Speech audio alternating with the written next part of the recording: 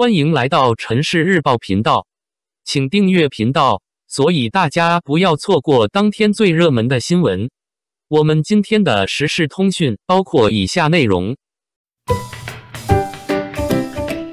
专属版《如梦之梦》门票破五千，阵容并无肖战，肖战却要躺枪。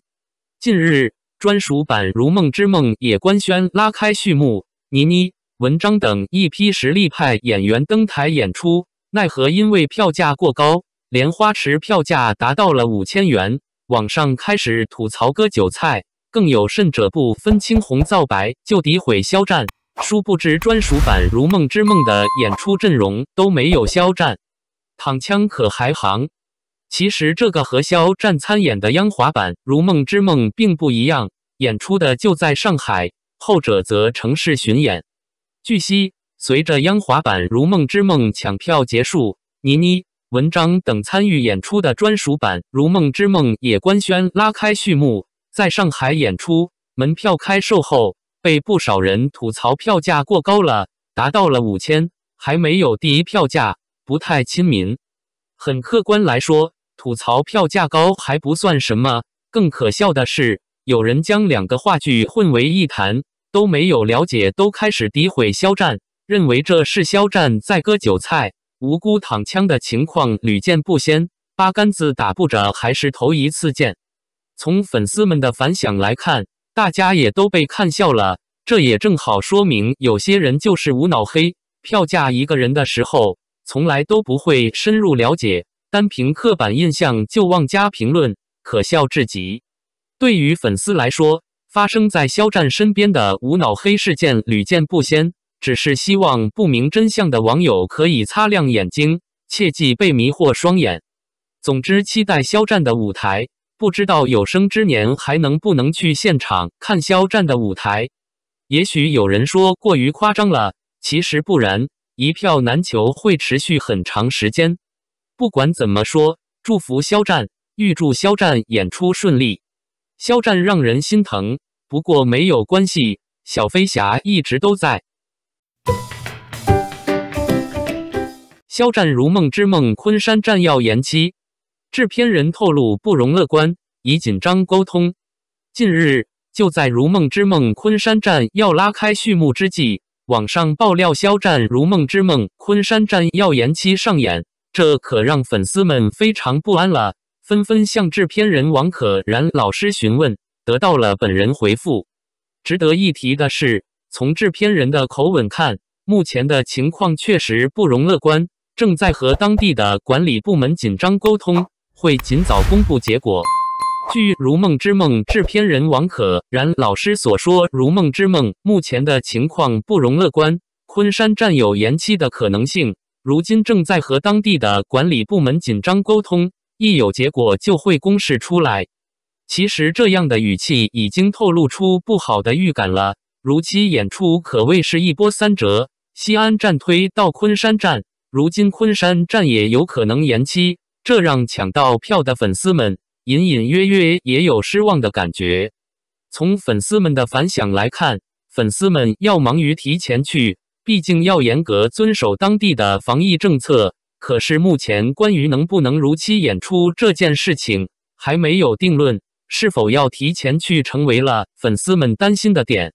当然，正如王可然老师所说的那样，会很快有结果，相信能够在一个比较合理的时间段让粉丝们放宽心。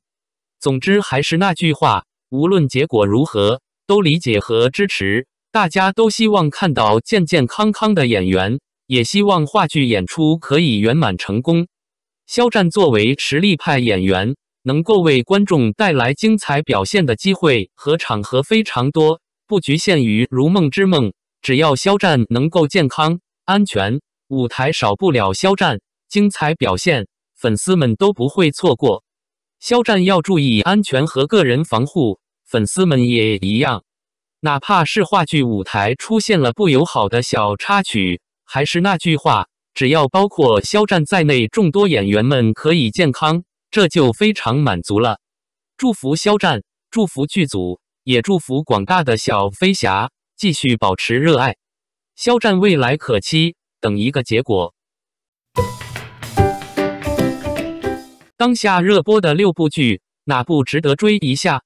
一青青日常白敬亭田曦薇主演。这部剧的最大推荐理由，大概是因为它是当下在播的古偶独苗一枚吧。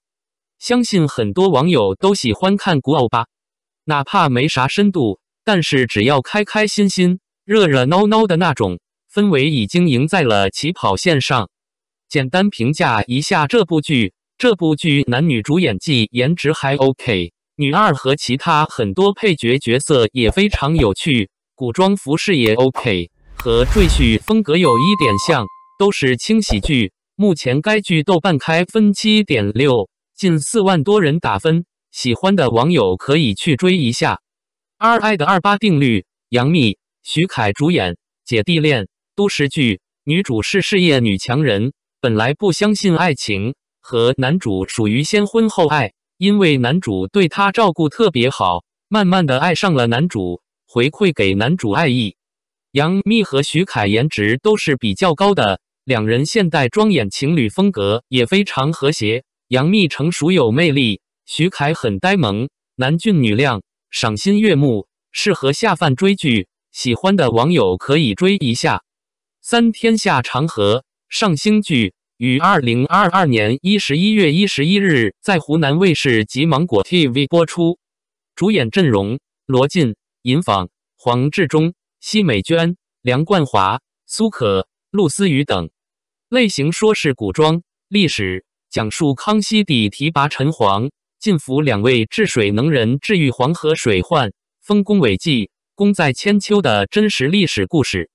这部剧看了一点。道服和置景很精良，但是吧，也看了一下导演和编剧是张挺，不禁想到之前也说是历史剧的《大明风华》。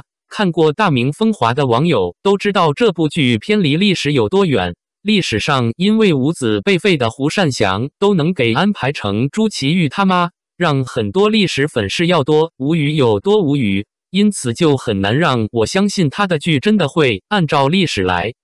不过罗晋的演技还是 OK 的，看过《鹤唳华亭》的网友都知道，喜欢的网友可以去追一下。四谁都知道我爱你，宋茜、许魏洲主演都市剧，男主是一名小老板，女主是一名记者主播。男主、女主还有一位女生是同学，一起玩耍，互相认识。男主喜欢女三，女主喜欢男主，一开始都是单恋。女三是男主心里的白月光，男主为了保护她扔下了女主很多次，但是女三只把男主当备胎，后来结识了更有钱的老板，便去攀附旁人，男主伤心离开，接受了女主的感情，和女主互生爱慕，谈起了恋爱。后来女三被那个老板甩了，又回头找男主，男主拒绝了她，选择了女主。